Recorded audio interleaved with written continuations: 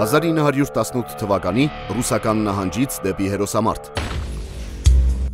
1917 թվականին Ռուսաստանում տեղի ունեցավ հոկտեմբերյան հեղաշրջումը, որից հետո Ռուսաստանը միակողմանի դուրս եկավ առաջին համաշխարհային պատերազմից։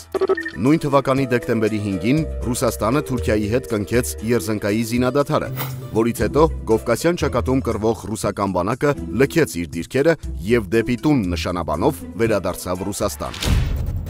Այս գործընթացը արդեն ինքնին վտանգավոր էր Հայաստանի եւ հայ ժողովրդի համար։ Վերադարձող զորքը ոչ միայն ոչնչացնում էր ճանապարհին հանդիպածը, այլև մթերքը տալիս թուրքերին, զենքը քրդերին։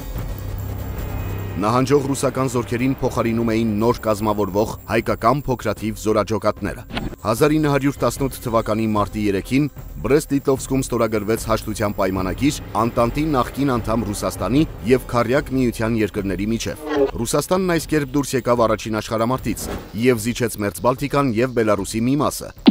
Իսկ Ուկրաինան եւ Ֆինլանդիան ձեռք բերեցին անկախություն։ Հաշտության պայմանագրի 4-րդ հոդվածով եւ ռուս-թուրքական լրացուցիչ պայմանագրի համաձայն Օսմանյան Թուրքիային անցան արևմտյան Հայաստանի ազատագրված տարածքները։ Ռուսաստանը պարտավորվեց իր զորքերը շուտապույտ դուրս հանել ոչ միայն արևմտյան Հայաստանից, այլև Արդահանի, Կարսի, Բաթումի մարզերից։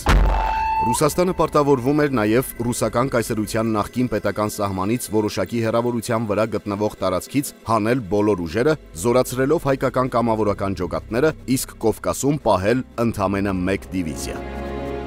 Ընդ որում, ըստ համաձայնագրի, Օսմանյան Թուրքիան իրավունք ուներ իր բանակը պահել պատերազմական վիճակում եւ օգտվելով ստեղծված իրավիճակից ուժեղացրեց հարձակման թափը դեպի Այսրկովկաս։ Ապրիլի 25-ին թուրքական զորքերը գրավեցին Կարսի լավ ամրացված ամրոցը, անմիջական սպառնալիք ստեղծելով Ալեքսանդրապոլի համար։ Օրեր անց թուրքական կողմը պահանջեց հանձնել Ախալքալակի, Ախալցխայի եւ Ալեքսանդրապոլի երկաթուղին, Սակայն, չսպասելով բանակցությունների ավարտին, թուրքական զորքերն արագ հարձակումով մայիսի 15-ին գրավեցին նաև Ալեքսանդրապոլը, նվաճման սպառնալիք ստեղծելով ամբողջ արևելյան Հայաստանի համար։ Ալեքսանդրապոլը, այժմ Գյումրին գրավելուց հետո թուրքական բանակը հասավ Ղարաքիլիսա, այժմյան Վանաձոր։ Միաժամանակ թուրքական զորքերը մոտեցան Ապարանին ու Սարդարապատին, ունենալով Երևանի բերդը գրավելու նպատակ։ Միայն մայիսի վերջին հայկական նոր կազմավորված զինված ուժերը, կամավորական ջոկատները եւ պարզապես աշխարազորայինները Սարդարապատի ու Բաշապարանի հերոսամարտերում կարողացան կասեցնել թուրքական արշավանքը եւ փրկել ողջ հարավային Կովկասը։